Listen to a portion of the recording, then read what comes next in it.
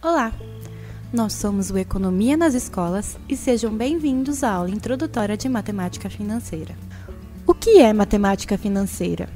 A matemática financeira é um ramo que relaciona as áreas da matemática e da economia. Ela é importante para entendermos, a partir de números, os fenômenos financeiros do nosso dia a dia ou da sociedade como um todo. Para começar, hoje vamos conversar sobre um tipo de instituição que muitos de nós utilizamos, os bancos e sobre o sistema em que eles estão inseridos, o sistema financeiro brasileiro. Os bancos podem cumprir diferentes funções, dependendo do seu tipo. Um banco pode ser comercial, de investimento, digital virtual ou eletrônico, de desenvolvimento ou ainda pode ser um banco misto ou múltiplo. Os bancos comerciais são os mais conhecidos e comuns entre os cidadãos.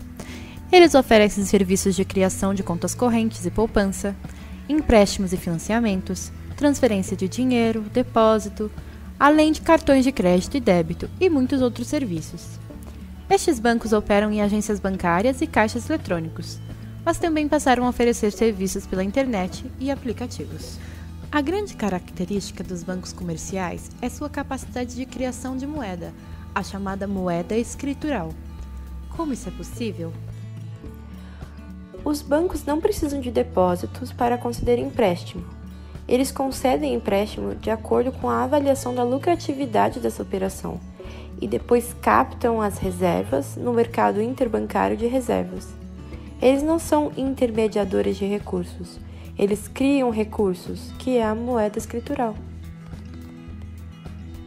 Seguindo para os bancos de investimentos, primeiro, vamos definir o que é um investimento.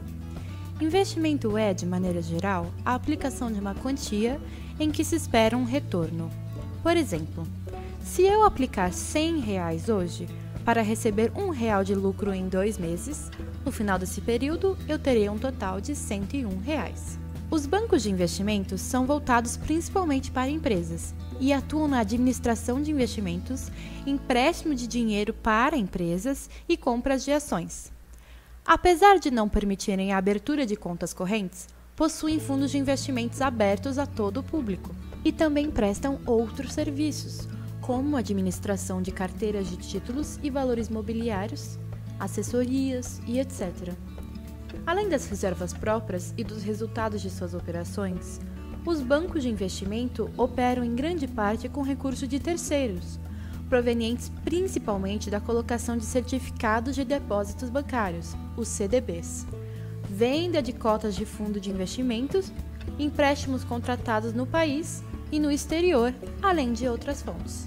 São exemplos de bancos de investimentos atuantes no Brasil BTG Pactual, Banco Modal, Banco Votorantim, Credit Suisse e JP Morgan.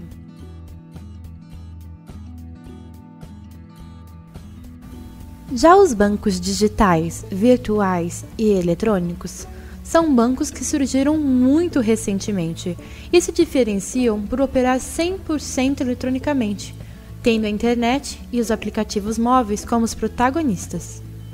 Sendo assim, eles não possuem atendimento por agências bancárias presenciais, já que através do aplicativo é possível fazer todas as ações necessárias, como empréstimos, transferências, abertura de conta e outros.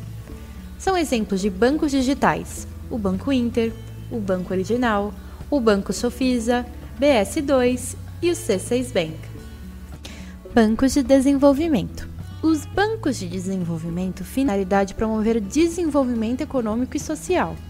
São exemplos do saneamento básico no Brasil, ou seja, a rede de água e esgoto, a construção de casas para pessoas mais pobres, a realização de obras de transportes como avenidas, corredores de ônibus, sistemas de trens, entre outros.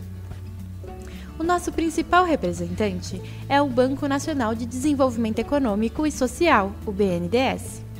Apesar de ser um banco múltiplo, a Caixa Econômica Federal também atua neste setor, financiando projetos como o Minha Casa Minha Vida.